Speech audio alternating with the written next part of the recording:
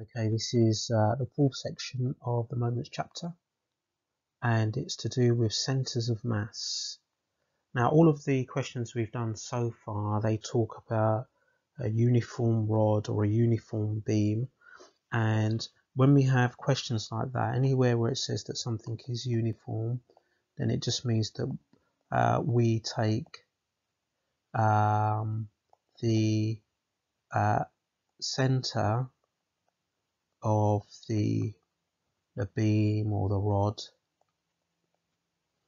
as where the center of mass acts. Okay, so if a beam was 5 meters long, we put the center of mass at 2.5 meters. This section is all about things which are non-uniform, which means that the center of mass isn't at the center, it's off center. Now, it may be that we're told that it's off center and we're told where that distance is. It may be that we need to work out where that distance is. So non-uniform uh, means the center of mass does not does not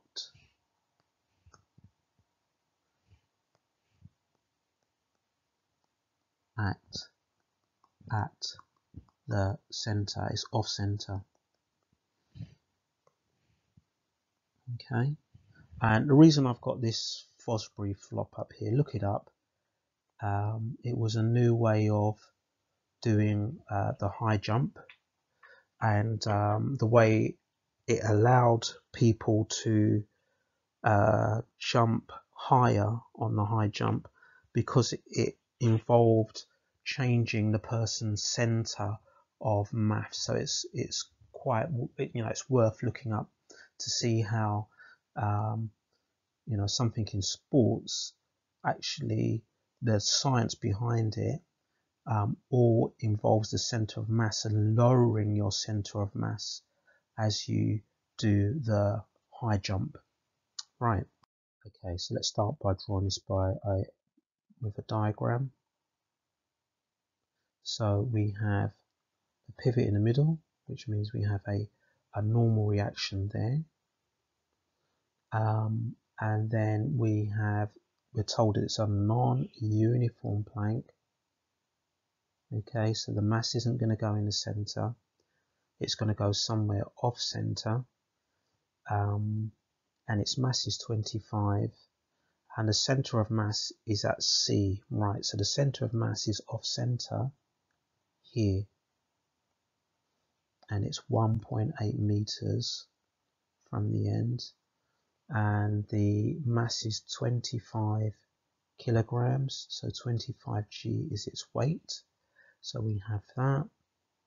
Um, Sam um, has mass 35, Tamsin sits at a. Okay, so we have Tamsin in this position here, right at the end. And her mass is also 25. So 25G here for Tamsin. And Sam is 35, and Sam is 35 um, G, his weight 35G.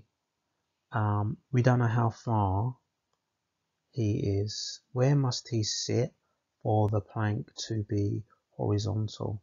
Now we could work out his distance from the center of the seesaw. We could work out his distance from A or his distance from B.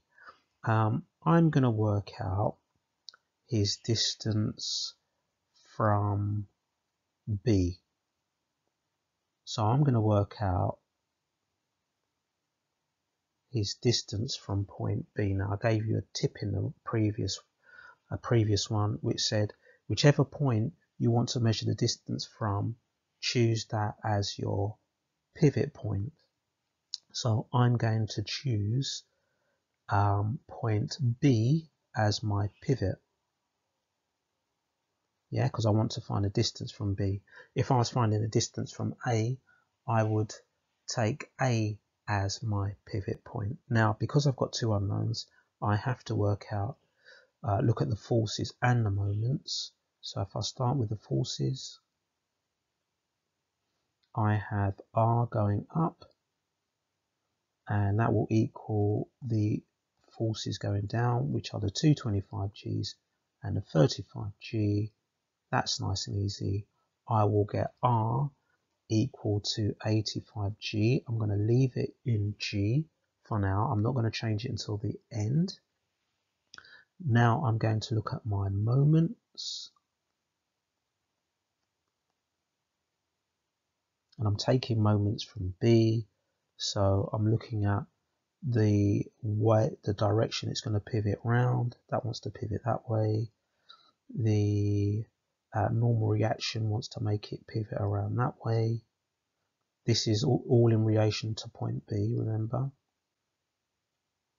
Okay, so you've got three anti-clockwise pivots down at the bottom and the clockwise pivot at the top. So um, let's write down an equation. So the anti-clockwise pivots, which is going to be x times 35g or 35gx uh, plus and then the distance from B to um, the uh, pivot point is going to be oh no we want the we want this one here. So since the whole thing is 4 if this distance is 1.8 the distance from B to here is just going to be 4 take away 1.8 so that distance is going to be um, 2.2 so plus 2.2 times by 25g plus the last anti-clockwise one is all the way to the other end. So that's going to be 4 times 25g so they're all the anti-clockwise one and the clockwise one is going to be from B to um, the pivot which is at the center so that's 2 2r and R I've already worked out as 85G on there. So this is just a matter of sort of simplifying working this out. So um, 2.2 times 25G is going to be 55G. So let's write it like this, 35GX um, plus 55G plus 100G equals 170G. Okay, so 35GX equals, so let's take 100 away from 170 and we'll take 55 away from that and we're left with 15G. So that means X equals 15G over 35G. So you see the advantage of not trying to work out what G is because it all cancels out anyway. And you can leave your answers in terms of G. Okay, that gives me exactly 3 over 7. So 3 over 7 meters from B. That's where the person needs to uh, be for the uh, thing to balance. If I change that to a decimal, um, that is, um, let's put B back, know it disappeared, uh, 0.42857, so three significant figures, uh, 0.429 um, from B as my final answer.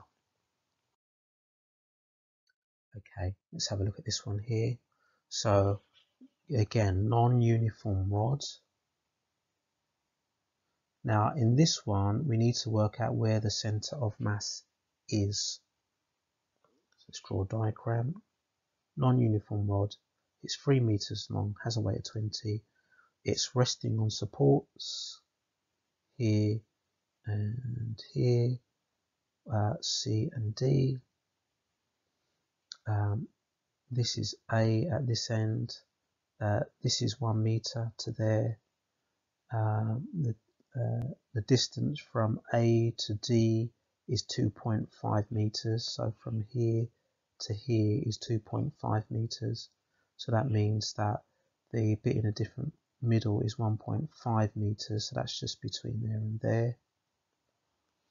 Um, if it's three meters long and I've got one here and I've got 1.5 here, that means that this bit at the end is 0.5 meters. So we've got that.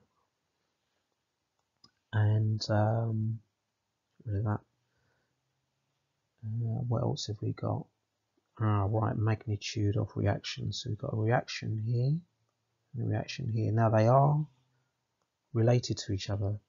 The magnitude of the reaction at C is three times the reaction at D. So whatever the reaction at D is,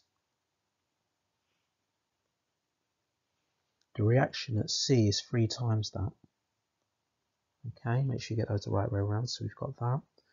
And then somewhere along the rod we have its mass, which is 20 newtons. So that can go anywhere we like. And it's um, somewhere off center and we want to work out this distance x. So step number one, let's look at the forces. They're going to be balanced. So we've got 3R and R going up equal to 20 newtons going down. So we get 4R equals 20, which means that the normal reaction is 5 newtons. Okay, that's done. We're going to need that in the next bit where we take moments. Where should we take moments from? From the point where we want to know the distance from. We want to know the distance from A. So we're going to take moments from point A. About A, we say. Take moments about A. Right, so if I take moments about A, I'm just going to draw a little moments diagram down here so it's nice and clear. Now we've worked out R, so 3R is going to be 15. Then we're going to have this distance of X and 20. And then we're going to have this distance to here and R, which is 5.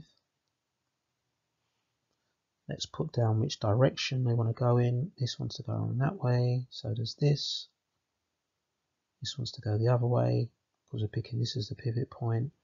So um, we're ready to write our equation. So the 15 newtons is a distance of 1 from the pivot, point. So 1 times 15. What else is going in the same direction? The 5 newtons, which is a distance of 2.5 from the pivot point. So 2.5 times 5. That should equal the anti-clockwise, and that's a distance of x, what we want to find, and a force of 20 newtons. Right, so let's work out what we get on the left-hand side. And we get 27.5. So 27.5 equals 20x that means that x is going to be 27.5 divided by 20 and that gives us 1.375 and that's uh, three decimal places. So 1.375 meters. Okay that's the distance x. So we'd finish that off. Um, we could give that or three significant figures 1.3 uh, 1.38 so you could say the center of mass center of mass is 1.38 meters from A. They wanted the distance from A and by picking that as the point we took moments from makes the working easier. Okay, you should now be able to do exercise 4D. Now exercise 4D starts on page 81 and goes to page 83.